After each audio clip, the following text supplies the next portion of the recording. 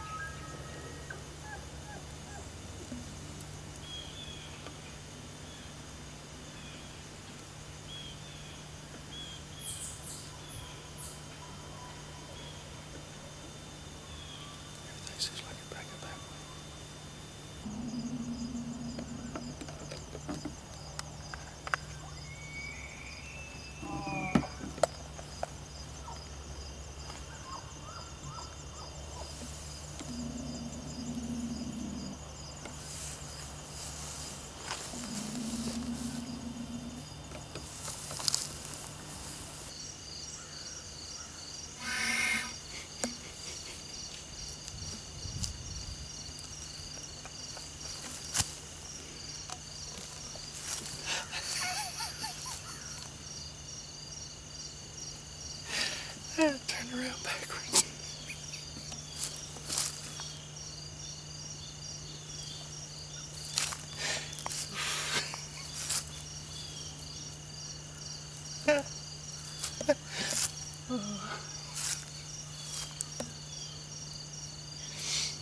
Jay, you got nerve cutting me down for missing a deer with a bow and arrow.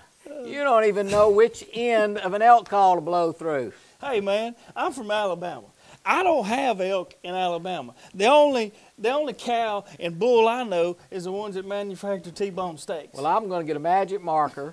I'm going to I'm going to write on the end blow here in an arrow because you got to know which end of an elk call to blow through. But I uh. got to give him credit though. That's the first time he's ever blown an elk call, and I think he did pretty good. I know the elk thought you did. He's over in the bushes laughing at me. he was.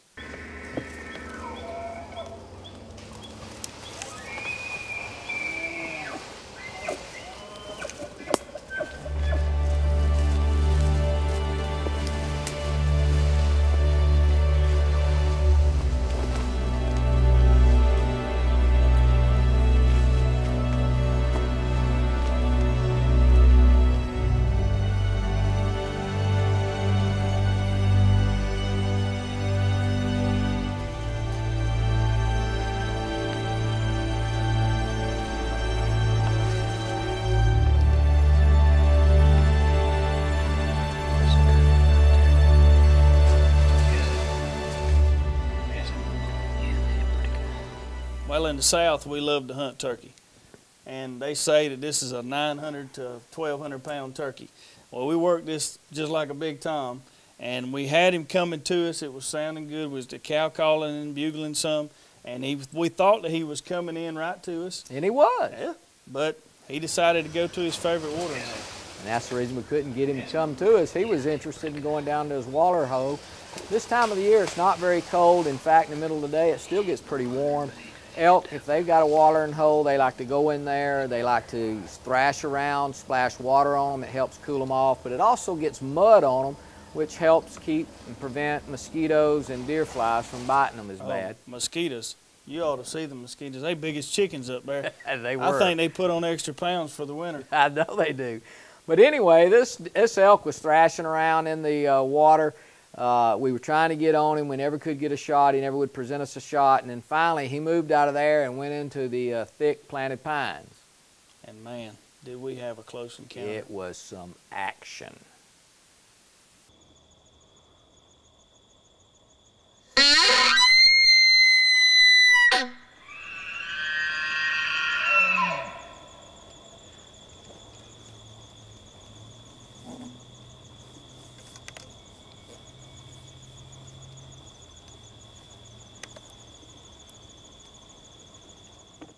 Mm.